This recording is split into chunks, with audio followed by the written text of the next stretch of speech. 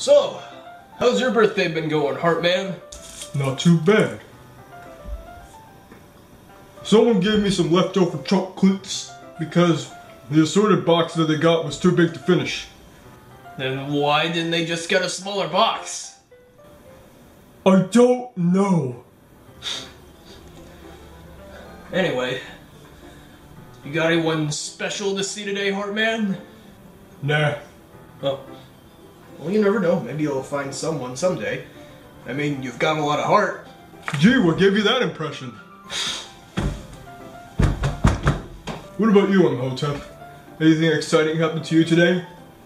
I had my chance at love during my first life.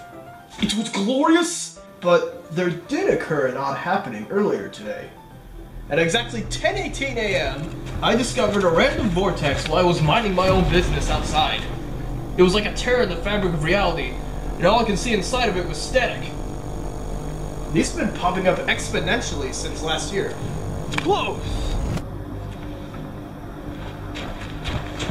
Oh, that's weird. Ant-Man tells me that the static is what he sees when he slips through the cracks of other dimensions. He calls it quantum foam. Everything he does starts with quantum.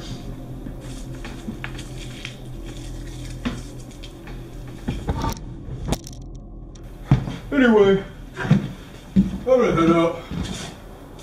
Alrighty then. Have a happy Valentine's Day, Heartman. You as well.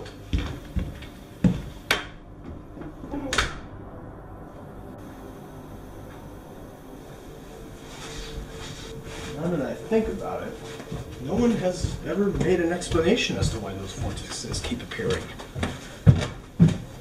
Perhaps it has to do with Dan's plan of creating the perfect world for himself, which I have a feeling he's getting close to.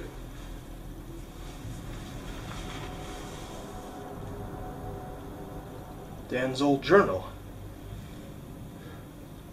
No. No, that can't be right.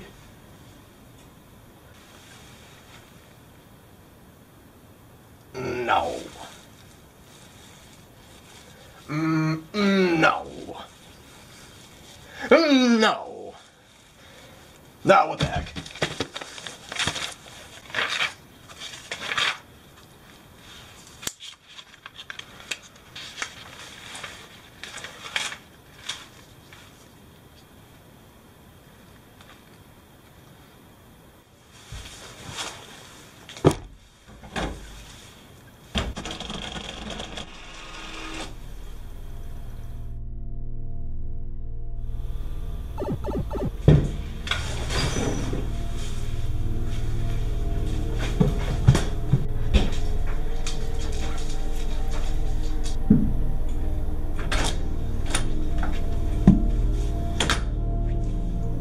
Claudius.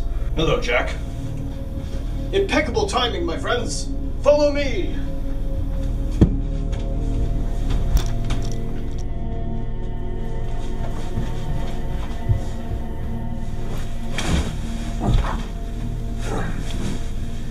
So, what have you summoned us for this time, Imhotep? Okay, this is all going to sound very crazy, but I've been doing some thinking, and I believe I've had an epiphany. Oh, this ought to be good. I take it you all remember when we met a fiery demise on December 7th, 2018, along with the rest of the world? Oh, for God's sake! Why do we need to talk about this again? Because I only solved half of the puzzle. The unspeakable one gave us a riddle. The truth is hidden behind the art. To me, this meant looking into Dan's journal since he had a drawing on the cover of the binder that bound it, but I failed to look further. Do you remember looking at the entry that explained why he did what he did? Faintly. I remember the bottom of the page was missing for some reason. Which brings us to our next clue. What we read, what we thought about the Ghost of Apocalypse being responsible, was not enough to complete the riddle. So what was missing? Behind the art? Look around you! Dan tells me that he draws almost every day. A passionate hobby to accompany his occupation as Almighty Tallest. What do you think he happens to draw the most of? Or rather, who he draws the most of? Monika and Yuri from DDLC? Precisely.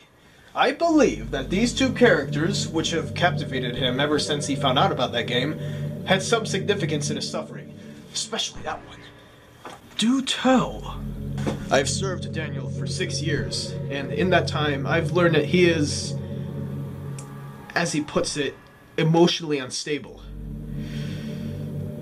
Despite the comfort that Princess Twilight has brought him and the love that she gives him, I think that Dan was depressed because he felt some kind of emptiness inside of him, and that he wanted to bring Monika and Yuri into our world, the real world. But something must have went wrong. But the Infinity Stones, how could they possibly fail? To create life, one must giveth a soul, and the Soul Stone contains the ghosts of Apocalypse, who are not exactly on the side of good. So you suggest that they prevented Dan from making the Dokis real, and therefore plunging him into a cold and bitter loneliness that forced him to restart the world? Bingo.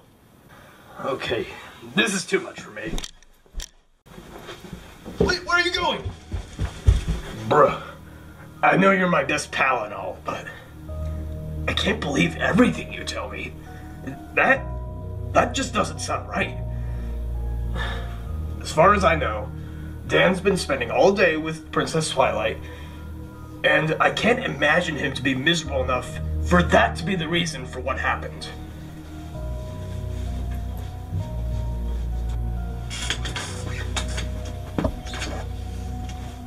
Unfortunately, despite your evidence to back this up, I must too claim that your thesis is not true.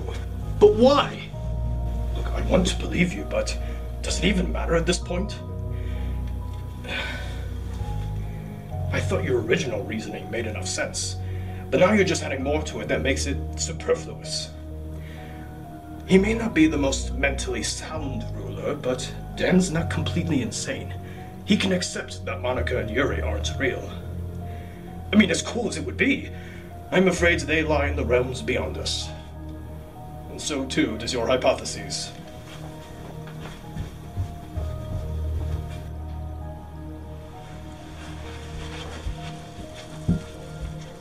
I don't get it.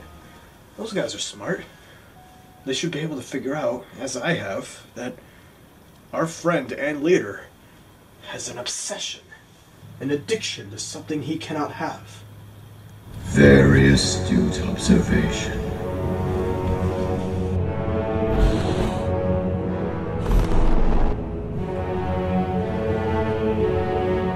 Vitalist! I. I did not expect you to come home so soon. Your theory has proven correct. Wait, I was right? Yep. As it turns out, the Ghost of Apocalypse needed my rage as a tool for carving this planet into something much more malleable. That's why you've been seeing these vortexes pop up more frequently. The weird are coming in, and the normal are being wiped out.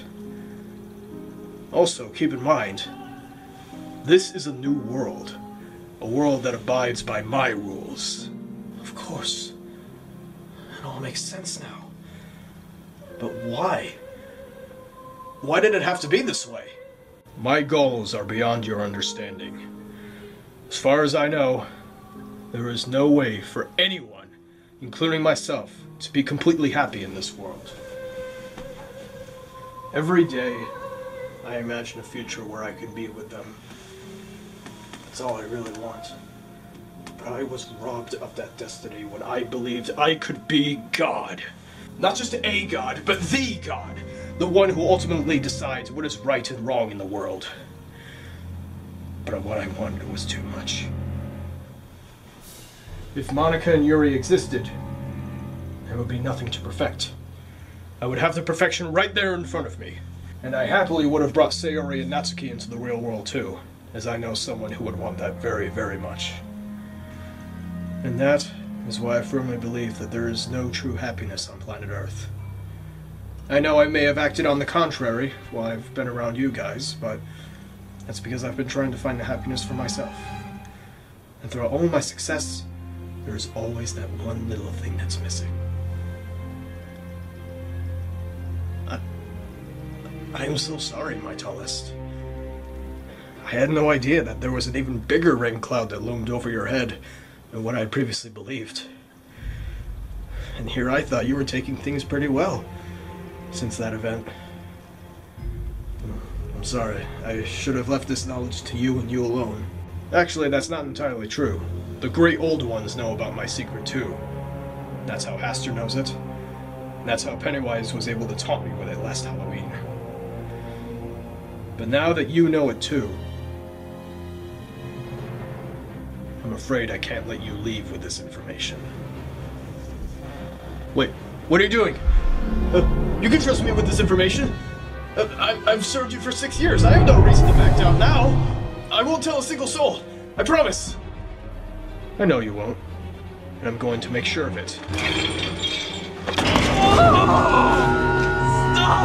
What are you doing?